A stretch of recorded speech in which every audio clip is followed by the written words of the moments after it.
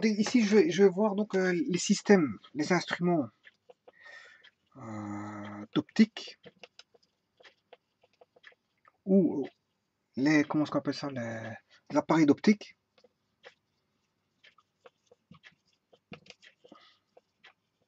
On un système optique.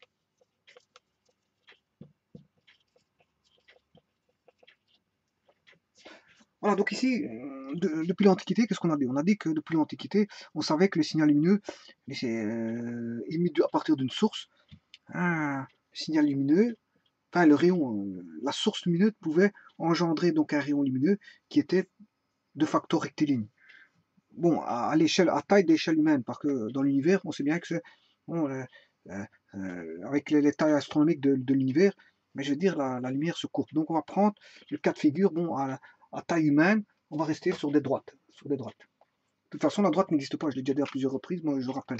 Une droite, ça n'existe pas, mais bon, ça a la direction d'une droite. Rayon lumineux à la direction d'une droite. Si, bon, euh, bien sûr, vous comprendrez qu'un signal lumineux a une certaine puissance. Si à un moment donné, il a plus de puissance, ben, il ne sait pas aller plus loin. Voilà, euh, voilà. Euh, le signal lumineux dépend aussi de la puissance émise à la source. et plus il émet en puissance, plus ça allait loin. Donc, depuis les rayons lumineux, on sait bien que depuis très longtemps, on sait bien que ça a une allure d'une direction en ligne droite pour euh, les, à, l'échelle humaine. L'échelle humaine, la direction d'un rayon lumineux est une droite. Bon, mais on, a prouvé, on a su prouver par le phénomène de la diffraction au travers d'une fente que j'avais expliqué que euh, euh, le fait de faire passer, bien sûr, en mettant un système de, de lentilles, j'ai pas trop envie d'en parler de, ça, mais une source lumineuse sous forme d'une surface, ben, on fait passer à travers une fente D, ben, on aura euh, presque tout qui sera, 90% du signal lumineux va passer euh, par la fente et va se mettre là. Et à côté va se créer ce qu'on appelle des franges d'interférence qui vont être créés. Bon, voilà, bizarrement, on n'allume pas là-bas, mais ça, ça crée ni à gauche ni à droite, on allume, on, met pas de, lumière. Malgré tout, il y a quelque chose qui va se créer à droite et à gauche. Bon, c'est comme ça, c'est ce qu'on appelle le phénomène de diffraction. Mais sachez que bon, il y a très peu qui va se mettre là-bas. Hein, la diffraction, voilà, ce qui va être en majorité, c'est ce qui va traverser la, la fente et on vous retrouvera au travers de la fente près de 90% du signal, euh, enfin du, du, de, rayon lumineux. 90% de la puissance lumineuse sera je veux dire, euh, celle qui va passer au travers de la fente, d'une certaine fente bien sûr bien spécifique, parce que si on augmente la taille de la fente, euh, on, perd en directivité. On perd en directivité, donc ça va, on va voir ceci en fait. Voilà, si on, augmente la taille de la fente. Donc, on voit bien que si la fente euh, a une certaine taille normale, bon, que j'étudierai, j'étudierai la diffraction, j'expliquerai tout ça, mais je veux dire, on voit bien que l'angle θ ici sera petit, et on, sera, on peut dire qu'on est directif, c'est comme si on avait une droite, une espèce de droite. On a un cône ici qui, est très petit, donc c'est comme, il est très directif, très directif, voilà, le signal. Et donc, ça corrobore bien ce que disaient les, les, les, Grecs auparavant, que ça circulait, la lumière circulait en ligne droite. Donc, bon, bah, via, la, via euh, le laboratoire de, la diffraction, on peut démontrer que les rayons lumineux sont en, général en ligne droite. Donc il ne disait pas, il disait vrai, il disait vrai. Il ne se, trompe pas, il ne se trompait pas à ce niveau-là. Voilà. Bon, alors maintenant, si un signal lumineux, hmm, s'il parcourt avec une certaine puissance, si rien ne l'arrête, il n'y a pas de surface qui, l'arrête, il va continuer toujours son trajet. Par contre, si on met des, surfaces de séparation, et si on a deux milieux différents, M1, M2, là, M1, M2, M1, M2, si le signal lumineux, arrive d'un certain an, euh, voilà le signal lumineux, ben là j'aurai le rayon lumineux. Bon, euh, si je le mets en, perpendiculaire, soit euh, il va se réfléchir sur lui-même, ou soit il peut être absorbé si on a un écran absorbant. Voilà, ben donc ça ne nous intéresse pas, je le mets avec un certain angle. Et si je mets avec un certain angle, bon, ici peut-être absorbé, le, rayon lumineux, peut-être, il peut disparaître. Voilà, il peut disparaître. Donc là, le rayon lumineux est absorbé. Absorbé on a euh, un phénomène d'absorption avec un P, avec un P, absorption, et euh, la surface de séparation entre M1 et M2, c'est une surface absorbante. Bon, ça, on voit bien que le signal lumineux, il, a disparu. Et là, euh, c'est le cas de figure si on a une absorption. Une absorption, ben, le signal lumineux disparaît. Maintenant, euh, toujours si on vient avec un angle ici, la source lumineuse c'est là, on a le rayon lumineux ici, ben, vous comprendrez qu'ici on a la normale à la surface de séparation des deux milieux, ici, hein, que j'appelle S, la surface de, séparation. Eh bien, si le signal lumineux repart avec un angle euh, suivant une loi donnée, euh, l'angle d'incidence est égal, l'angle d'incidence qui est ici est égal à l'angle de réflexion, on a ce qu'on appelle le rayon lumineux qui est réfléchi. Réfléchi, et on a un phénomène de réflexion, et on a une surface réfléchissante. Voilà. Et ça, c'est, bon, vous voyez que le signal lumineux, il reste du milieu 1, il reste, dans le milieu 1, mais il change de direction. Là, tout simplement. Et c'est toujours rectiligne. Hein. Euh, on est toujours à travers des droites. Hein. Bon, il n'y a rien qu'à changer. Une droite reste une droite.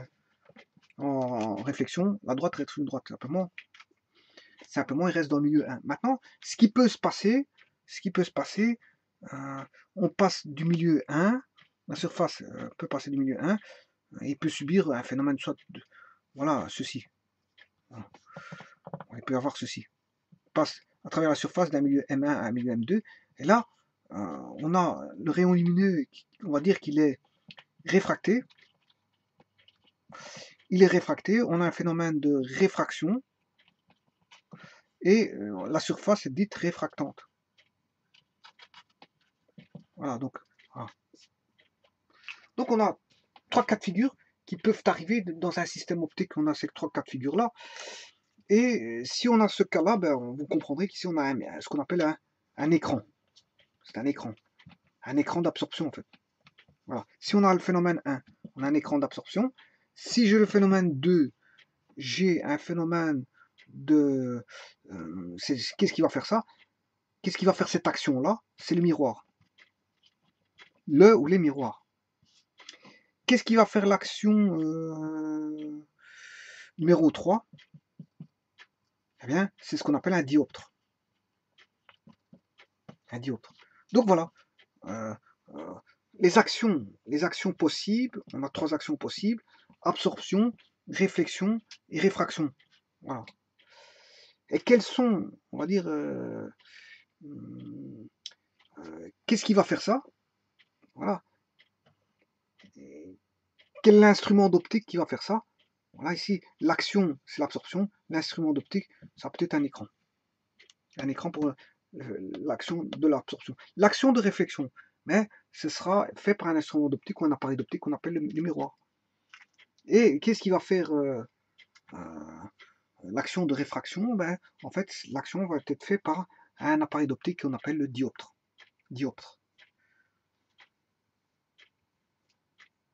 Et donc ça, ce sont les, appareils d'optique fabriqués, bien sûr, par l'homme. Hein. C'est l'homme qui fabrique ça. Hein. Parce qu'on a un phénomène de réfraction entre l'eau et le, euh, l'air et l'eau, mais c'est pas un système d'optique, ça c'est juste une étude qu'on étudie le phénomène, phénomène de, euh, réfraction, phénomène de réfraction à travers deux milieux différents, mais la surface de séparation entre air et eau, ben, Bon, c'est pas un système, on va dire, c'est pas un, dioptre, euh, je veux dire, fabriqué par l'homme. Hein. Bon, c'est juste euh, deux, on met deux, euh, on met de l'air et de l'eau pour, mélanger, pour étudier, c'est pour faire des études. Mais le, vrai système optique, hein, l'instrument d'optique, pour ainsi dire, qui va faire la, réfraction, c'est ce qu'on appelle un dioptre. Le vrai système optique qui va permettre dire la réflexion, fabriqué par l'homme, c'est un miroir. Le dioptre est fabriqué par l'homme pour euh, subir, faire subir un, un, signal un rayon lumineux une réfraction. L'écran euh, absorbant est un, instrument d'optique ou un appareil d'optique permettant, je veux dire, de d'annihiler, je veux dire, le rayon lumineux, de le faire disparaître. Donc, et voilà, on retrouve ceci trois actions et trois instruments possibles et imaginables. Voilà. Alors maintenant, sachez que bon ici, milieu 1, il a disparu après. le rayon lumineux il a disparu. Par contre, ici, du milieu 1, le rayon lumineux, il reste dans le milieu 1. Par contre, ici, dans, la réfraction, on passe d'un milieu 1 à un milieu 2. Voilà. Maintenant, attention que le processus au niveau du dioptre, il peut y avoir aussi une, réflexion aussi hein, dans le dioptre.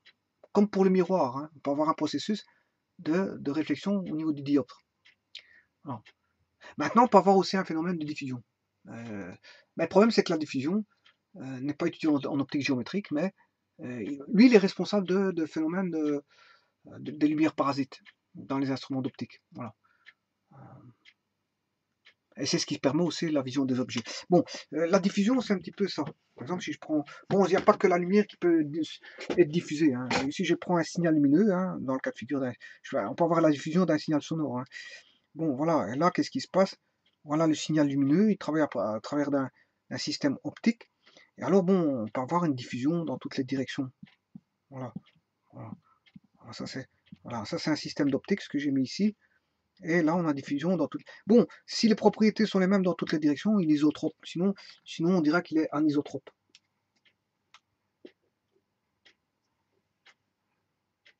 et donc, le rayon lumineux, il est là.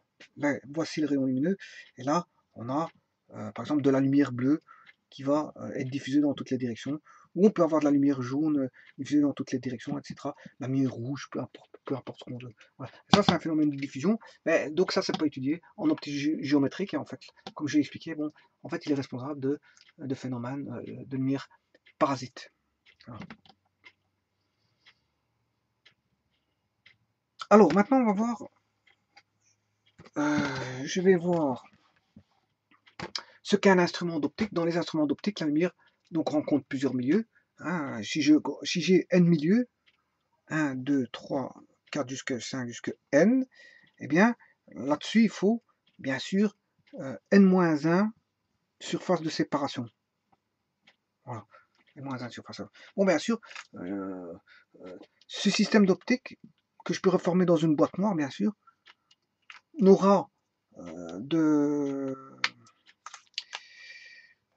aura son sens que s'il existe un rayon lumineux qui va, qui va être engendré à travers d'une source lumineuse. Donc il faut qu'il y ait un rayon lumineux qui, va partir à, partir de tous ces systèmes d'optique pour voilà, avoir de certaines propriétés changeantes par rapport au début, parce que si elle reste la même au, euh, par rapport au début, bon, on peut se poser les questions pourquoi elle ne change pas? Pourquoi veut-on ne pas faire changer un signal lumineux? Quel est l'intérêt? Bon, le but c'est de faire changer un signal lumineux, par exemple, en direction, par exemple, en direction. Voilà. Donc ici, dans les instruments d'optique, la lumière rencontre donc plusieurs milieux euh, au cours, et au cours de sa propagation. Et, l'un des trois phénomènes euh, qu'on a vu, on a vu l'absorption, on peut avoir de l'absorption, de la réflexion et de la réfraction. Voilà, au travers du milieu, au travers de la surface S1, au travers de la surface S2, on peut avoir l'absorption, réflexion. Euh, euh, bien sûr, quand je dis c'est l'un de ces phénomènes-là, ou, une composition, bien sûr. Hein. Voilà. Donc on peut avoir A, R, R', A, R, R', etc. Voilà. voilà. Donc ici, je peux mettre soit je peux mettre un, dioptre. Là, je peux mettre euh,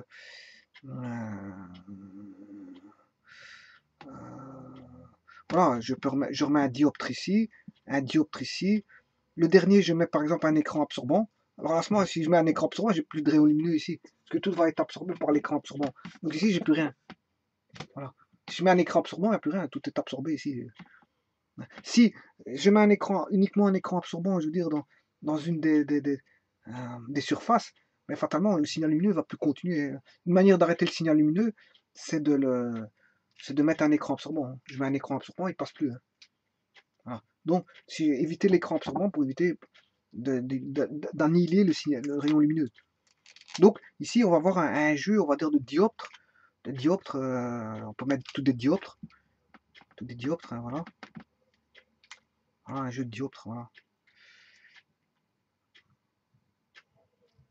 Ah, attention qu'ici, je peux ramener, euh, je peux mettre... Euh, un miroir. Le miroir va revenir comme ceci, le signal.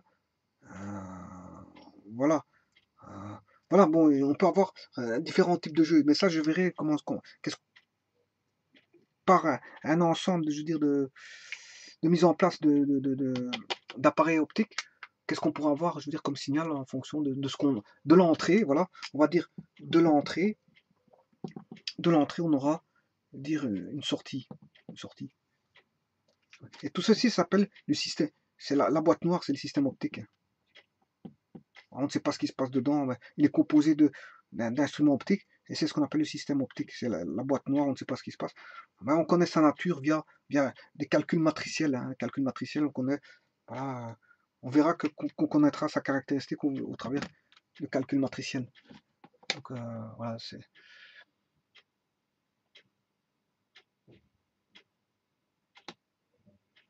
Bon, donc un début de, de, l'optique géométrique est de déterminer le choix euh, de ces milieux, donc le choix de ces milieux. Hein. On va voir qu'est-ce qu'on va mettre en 1, si je mets de l'air, du verre, euh, si je mets ici de...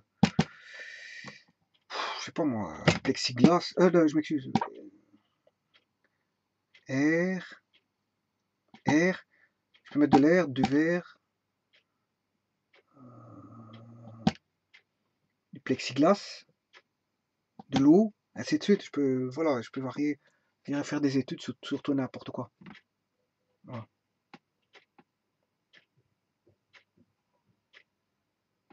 Et donc, bien sûr, les surfaces, on va les étudier de telle manière à avoir ces formes, les formes, la forme à donner aux surfaces pour. Hein, si on a par exemple, si je prends des miroirs, miroirs, on peut avoir des miroirs plans, des miroirs sphériques.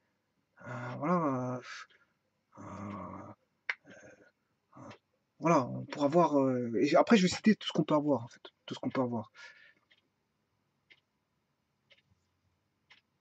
Et alors, le but, c'est la, disposition donc euh, de, toutes ces surfaces dans lesquelles on, a fixé tout des. Comment est-ce qu'on appelle ça des, Le choix des milieux, différents milieux. Euh,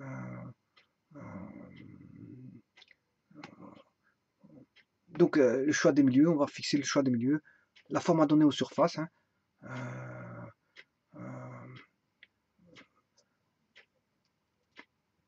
et on, fera en sorte que l'appareil d'optique fonctionnera, je veux dire, euh, suivant les besoins désirés par rapport à avoir un, rayon lumineux de sortie avec un angle de, donné de sortie par rapport à un, signal lumineux avec un angle d'entrée d'entrée d'entrée.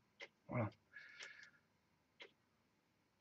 En fait, pour répondre aux besoins de sortie par rapport à l'entrée, ben, on essaiera de faire en sorte que euh, l'appareil d'optique soit le, meilleur possible. Alors, si je définis euh, ce qu'est un appareil d'optique, ben, c'est l'ensemble des milieux euh, de même ou différentes natures séparées par des on va dire, surfaces. c'est ça. Le système, c'est une boîte noire ici. Bon, alors maintenant, ceci étant dit,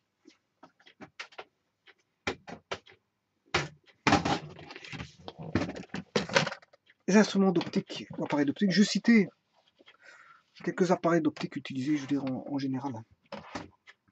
Bon, on peut avoir un, ce qu'on appelle un, prisme, prisme, le prisme, ben, le prisme, il peut en avoir plusieurs sortes. Hein. Je sais bien qu'il y a le prisme dispersif, redresseur, etc. On retrouve le projecteur, projecteur de cinéma, il y a le rétroprojecteur, projecteur, rétroprojecteur. Hein. Les anciens cinémas, quand ils n'étaient pas, en numérique, il y avait des projecteurs, il y avait des, salles de projection. Euh, voilà, une salle de projection pour laquelle on projetait l'image sur un écran. Euh, voilà, le rétroprojecteur, euh, c'est ce que les, professeurs utilisent dans les écoles, avec un document qu'ils mettent sur un rétroprojecteur qui est rétroprojecté via un écran. Voilà. Avant, il y avait le, dispositif de diapositive. Diapositive. Hein. Il y avait toujours un système de projecteur à diapositive. Euh, euh, et il y avait les projecteurs, bon, comme on, retrouvait au cinéma, pour les besoins de, euh, à travers un écran, de voir, de projeter des, images prises par caméra. Parce que les caméras, avant, il fallait projeter dans un projecteur Enfin, il fallait projeter par l'intermédiaire d'un projecteur sur un écran pour voir. Les anciennes caméras, c'était ça. Voilà. On sortait un film, un film euh, à travers d'une bande, comme dans les films de cinéma. Hein. Et voilà, et après, on mettait ça dans le rétroprojecteur et on lançait ça. On avait toutes les images qui, qui se, euh, je veux dire, euh, qui défilaient. Qui défilaient. Et donc les familles, auparavant, les familles avaient, il y a très longtemps, des projecteurs chez eux pour c'était l'ancêtre de la caméra vidéo qu'on retrouve maintenant, qu'on peut euh, tirer des images et envoyer sur, euh, comment ça ça? Sur l'ordinateur. il y avait l'ancêtre de tout ça. Bon, bien sûr, on trouve la, photographie. Hein. Photo, photographie. Hein, photographie. Euh, voilà, on retrouve tout ce qui est photographie. Avec tous les effets, bien sûr, les effets désirables ou non désirables en photographie. Hein, la, photographie est un art et on obtient, on essaie d'obtenir des, des, photos, je veux dire, avec euh, euh, des spécificités bien, bien particulières qu'on apprend en cours, en, cours, en cours de photographie. Bon, maintenant, vous allez me dire, il y a la photo numérique, ouais, ben, je veux dire, ça change beaucoup. Oui, ça change, mais malgré tout, c'est toute une étude, la photographie, que ce soit numérique ou pas. Mais ah, bien avant, bien sûr, il y avait de la chimie avec, hein, il y avait toute une chimie. Et bon, les appareils, je veux dire, bon, il y avait différents types d'appareils photo, photographiques, et il fallait savoir les manipuler. Maintenant, le numérique, il suffit pas d'appuyer, il suffit, il faut, pour avoir des effets, il faut savoir les faire, et on apprend ça en photographie. Voilà. Donc la photographie nécessite toujours des cours, des cours de photographie pour apprendre hein, euh, comment euh, avoir des photos artistiques, des photos avec des, des, euh, avec des, des, photos avec des comment on appelle ça des, euh, des spécificités, voilà, des spécificités, des spécificités que les gens veulent pour rendre la, la, la, photo, la photographie artistique. Voilà. Donc, on peut retrouver quoi? Bien sûr, on retrouve euh, les miroirs. Les miroirs, comme j'ai expliqué. Mais dans les miroirs, on a les miroirs sphériques, les miroirs plans, voilà, etc., Bien sûr, on, retrouvera euh, euh, bien sûr les photocopies. Photocopies, bien sûr, bien sûr, c'est un appareil électronique, mais on retrouve ça. Euh, on retrouve on retrouve des, comment appelle ça des instruments optiques dans les photocopieuses dans les photocopieuses donc voilà les applications de photocopieuses bon, on retrouve euh,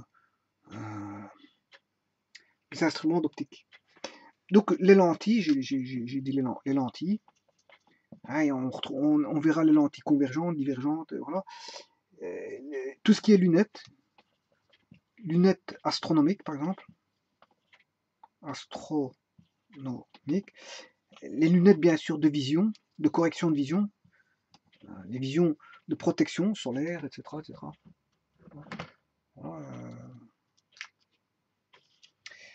On peut retrouver les jumelles, hein, les jumelles,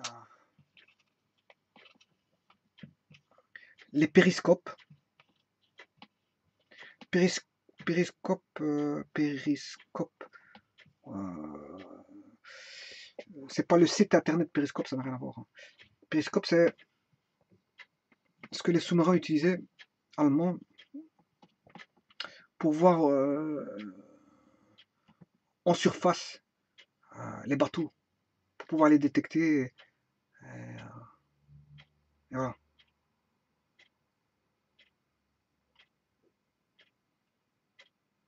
Bon, on retrouve les, télescopes, les instruments d'optique, les, les, télescopes, bien sûr les loupes, les loupes, les monocles, les loupes, les monocles, euh, les microscopes, microscope optique et microscope électronique. Hein. Mais l'électronique, c'est électronique. Hein. Voilà. Malgré tout, il y a quand même, je veux dire, euh, une certaine partie qui est optique. Il n'est pas 100% électronique en fait. Euh, les écrans, tout ce qui est écran, écran euh, de cinéma, écran d'ordinateur, écran de... Voilà. On trouve tout ce qui est les verres, tout ce qui est euh, matière en verre, hein, matière en verre, verre, poli, verre, euh, voilà, ça c'est les matières, au niveau des matières, le verre, le verre, euh, on peut avoir le verre translucide, le verre opaque, le verre, voilà, différents types de verres. Hein, suivant qu'on veut regarder à l'extérieur, qu'on ait, qu'on ait besoin de lumière qui traverse l'habitation, mais qu'on ne veut pas qu'on soit vu, et, ou alors du verre qui traverse la, de la lumière qui traverse le, verre, mais qu'on peut être vu à l'intérieur, ça dépend. Donc, on retrouve, comme j'ai expliqué, les dioptres. Hein, dans les dioptres, on retrouve dans les voitures le catadioptre, catadioptre dans les voitures et dans les, les vélos. Le système de dioptre, catadioptre.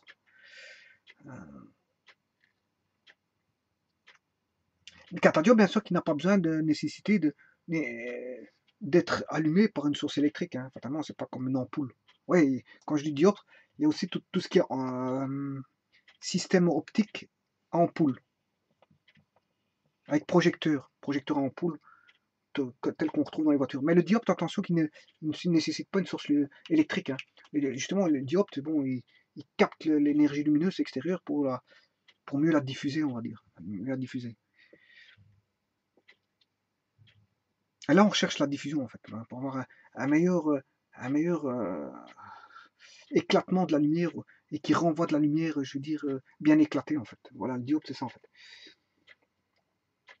Alors, on retrouve bien sûr la fibre optique. Fibre optique pour faire circuler un signal très rapide, très rapidement, au travers de la lumière dans la fibre optique. Comme ça, on voit la vitesse de la lumière.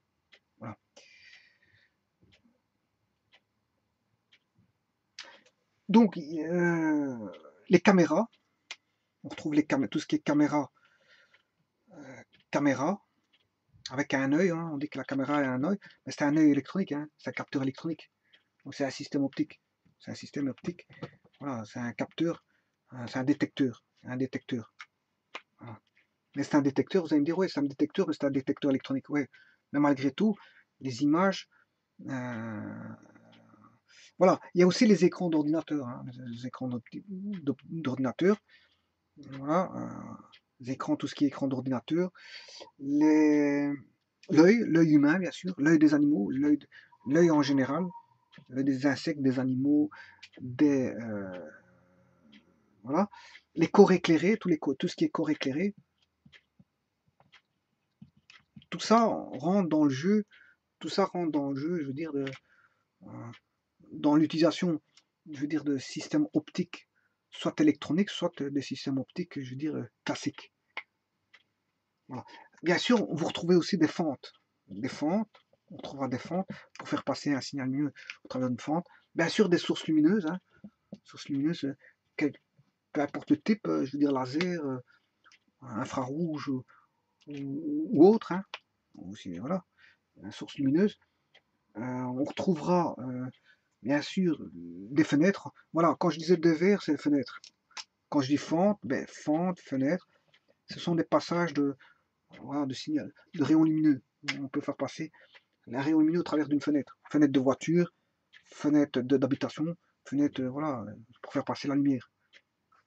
Et maintenant, soit on veut être vu ou pas. Donc, soit on va être translucide, ça, ça va être des verres translucides ou, ou transparentes, voilà, ou, ou opaques. Ça dépendra ce qu'on veut ce qu'on veut. soit translucide ou, ou transparente. Voilà, donc ici, euh, bien sûr, on pourra retrouver des, ce qu'on appelle des viseurs. Des viseurs, j'expliquerai ce que c'est qu'un viseur, un viseur optique. Bien sûr, euh, et dans là-bas, j'ai parlé des, des rétroprojecteurs, des projecteurs, des phares, des phares, des ondes. Voilà. Euh, voilà. Dans un système de rétroprojection, ou de projection, ou de projecteur, peu importe, on a besoin d'une ampoule. Hein, on a souvent une ampoule. Voilà. Tout, ça, tout, un système d'éclairage hein, ampoule. Et comme l'ampoule chauffe, il faudrait un système de, ventilation. Hein. Voilà, c'est parce que l'ampoule va, va chauffer fortement, donc il faudrait un système de ventilation. Donc, attendez-vous à que, quand il y a des, grosses lampes hein, pour euh, projeter, des lampes pour projeter sur un écran, hein, pour projeter, la, lampe fait office de source lumineuse. Hein. Ouais, elle fait office de source lumineuse. Mais dès le moment où on a une source lumineuse, d'office, bon, ça va chauffer, il faut un système de, refroidissement. Et plus le système, la lampe euh, possède je veux dire, de, la puissance, eh bien, plus il faudra avoir un système de refroidissement de plus en plus, je veux dire, euh, Imaginez-vous quelqu'un qui travaille dans, une salle de, cinéma, hein, il est dans une petite salle de projection. Et là, bon, il doit faire énormément chaud. Les moteurs qui tournent, les lampes qui, chauffent, là, il doit faire énormément chaud, surtout que l'espace est, on va dire, l'espace est confiné, clos, clos confiné. Et bon, euh, donc il est obligé de, de, mettre un système de refroidissement. Système de refroidissement. Et on retrouvera des, lames aussi, des lames, des espèces de lames, bon, qui seront, qui seront des, voilà, des, lames très fines. Voilà, en fait, je peux encore décortiquer parce qu'on peut se retrouver dans un, système optique, je veux dire, euh, soit électronique, soit mécanique, soit, enfin, soit constitué de, de mécanique. Hein. Par exemple, si je prends un périscope, c'est un système mécanique, hein, oui, avec des, avec des miroirs, oui, mais bon, c'est un système mécanique. Hein. quand on désire tourner, tourner, euh, quand il tournait, je veux dire, le, le, euh, avec un certain angle, hein, euh, si je prends le périscope, c'est un système mécanique de rotation. Voilà. Mais ça reste tout bonnement un système optique avec des miroirs dedans. Voilà, avec des miroirs dedans, j'ai un système optique et donc fatalement, bien sûr, de réflexion. Et euh, c'est un système optique mécanique, parce que mais on retrouve des, caméras, des caméras de surveillance qui sont électroniques. Et là, c'est un système détecteur, c'est un détecteur électronique. Voilà. Un détecteur électronique, un œil électronique. Et là, on a un système optique, mais électronique. Voilà. Donc, tout dépend, tout dépend. Euh, parfois, on a des mélanges de mécanique et d'électronique, on peut avoir de, l'optique. On peut avoir soit de l'optique pure, l'optique pure, ou de l'électronique mélangée avec de l'électronique mélangée avec l'optique, hein, ou, voilà. Et on peut avoir, on peut mélanger tout ça, on peut mélanger, voilà. On peut avoir de la mécanique avec, euh, comme ici le, périscope, ben, c'est de la mécanique avec euh, de système optique. Hein. Voilà, c'est un système optique avec une rotation, possibilité de rotation. Donc on peut avoir de l'électronique, mécanique et de la euh, de l'optique mélangée. Mais l'optique peut être électronique purement, électro purement électronique. Voilà.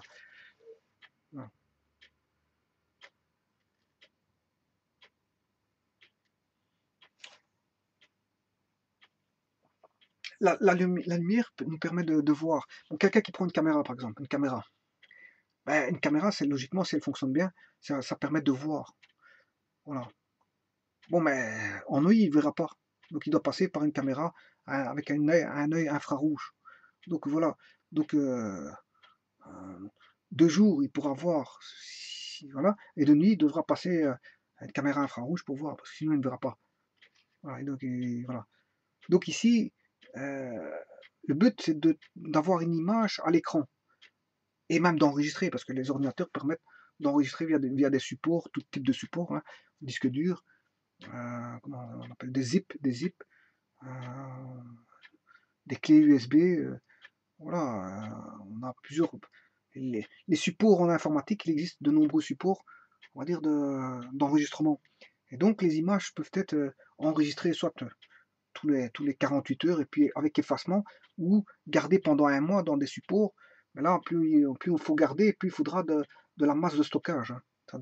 Si je garde pendant un mois ou un an, ben, la masse de stockage. Donc à un moment donné, il faut effacer tant qu'il n'y a rien eu comme euh, histoire. Euh, histoire, mais ben, on peut effacer, je veux dire, tous les, je sais pas moi, tous les, tous les 10 jours, on peut effacer.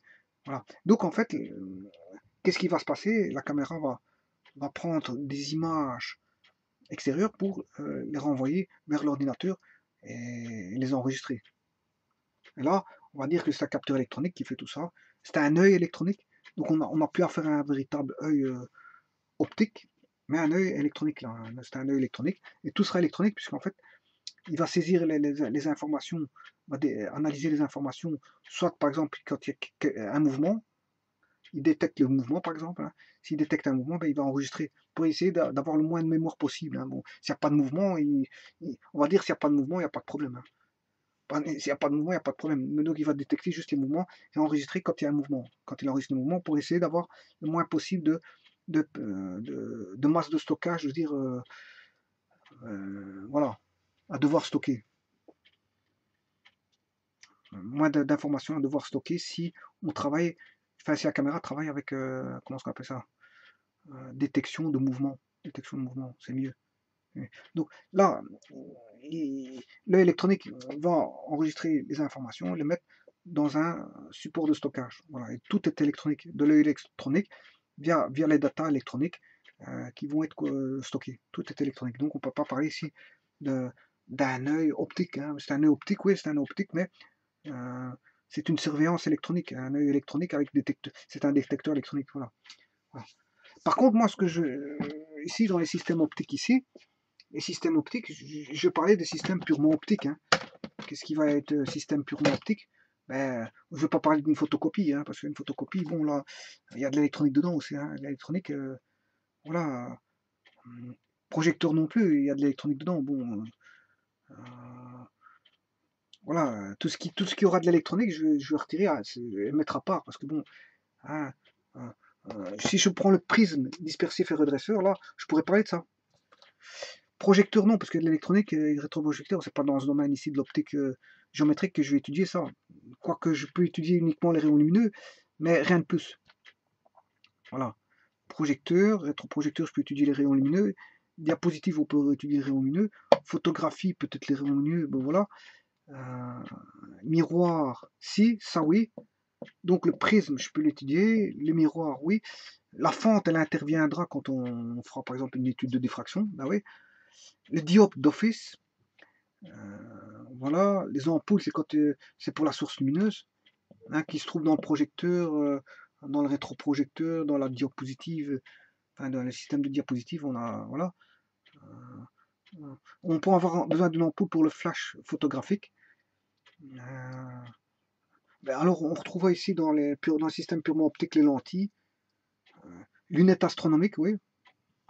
Lunettes de vision, oui. Périscope, oui. Jumelle, oui. Système optique. Télescope, oui. Loupe, oui. Monocle, oui. Microscope optique, non. Hein. Euh, microscope optique, oui. C'est les microscopes électroniques que non. Microscope optique, oui. Mais les microscopes électroniques, non, parce que c'est l'électronique en fait. Voilà. L'écran, ben, les écrans, bon, je peux le mettre. Et caméra, bon, caméra, fatalement, c'est étudié donc en électronique, donc euh, à part étudier le, rayon, le rayon lumineux de la caméra, bon, euh, je sais pas ce que je peux étudier là-dessus. Mais voilà, donc j'étudierai les, miroirs, les lentilles, les lunettes astronomiques, les lunettes de vision, jumelles, périscope, télescope, loupe, monocle, euh, microscope optique. là-dedans insérer des écrans, je pourrais insérer des écrans, prisme, dispersif, voilà, redresseur, et bien sûr euh, un viseur, je peux mettre un viseur dans le système.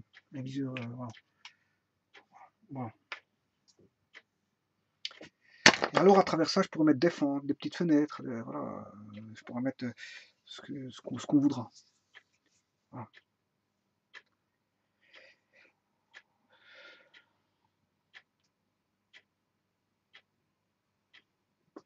Voilà, je vous remercie beaucoup.